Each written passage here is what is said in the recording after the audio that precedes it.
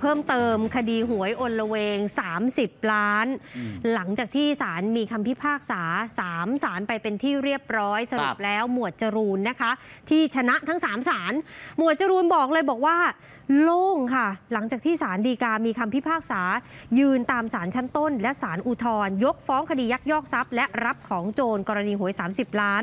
โดยหมวดจรูนเปิดใจบอกว่าดีใจที่ศาลให้ความเป็นธรรม เมื่อได้ฟังคำพิพากษาแล้วรู้สึกโล่ง หลังจากนี้เดี๋ยวปรึกษาทนายว่าจะดำเนินการยังไงต่อไป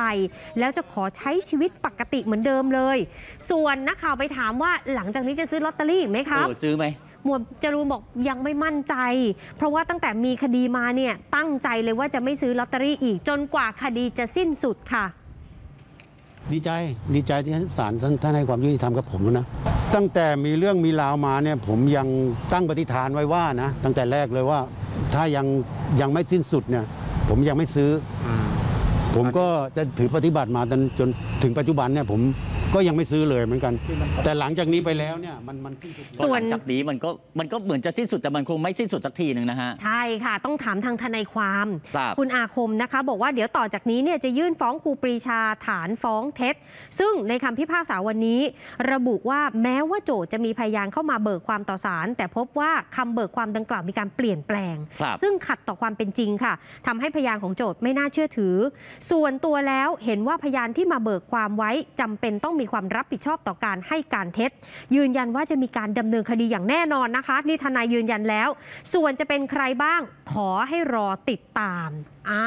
แล้วครูปรีชาว่าไงอะฮะฝั่งของครูปรีชาบอกเดี๋ยวจากนี้นะ จะเดินหน้าคดีแพ่งอ่าครูปรีชาไปคดีแพ่งค่ะ บอกเป็นคดีแพ่งที่ตนฟ้องเรียกทรัพย์คืนจากหมวดจรูน เพราะว่าในคำพิพากษาวันนี้ ยังไม่ได้มีการระบุว่าลอตเตอรี่นั้นเป็นของใคร นั่นหมายความว่าครูปรีชาจะสู้ต่อ ใช่ยืนยันว่าสู้ต่อตามความเป็นจริงและความถูกต้อง วันนี้ยังไม่ถือว่าตนแพ้นะ เพราะคำพิพากษายังไม่ได้ตัดสินว่าใครเป็นเจ้าของ หมวดจรูนที่จะฟ้องกลับตนในฐานะฟ้องเท็จนั้นไม่กังวลด้วยเป็นเรื่องของอนาคตค่ะครับเขาไม่ได้บอกว่าทรัพย์ไม่ใช่ของครูนะครับ เข้าใจผิดนะครับ เขาบอกว่าครูไม่ใช่ไม่ไม่ไม่มีอำนาจฟ้องเฉยฉะนั้นเราต้องหาอำนาจฟ้องต่อไปอำนาจฟ้องเกิดจากพยานหลักฐานครับต้องรวบรวมพยานหลักฐานให้ให้ครบอีก มีอีกหลายชิ้นนะครับ ที่จะต้องนำเข้าสู่ในคดีอีกคดีหนึ่ง คือตอนนี้ที่คุณครูต่อสู้เนี่ยไม่ได้มองถึงเรื่องเงินนะ มองถึงความจริงและความถูกต้องนะครับ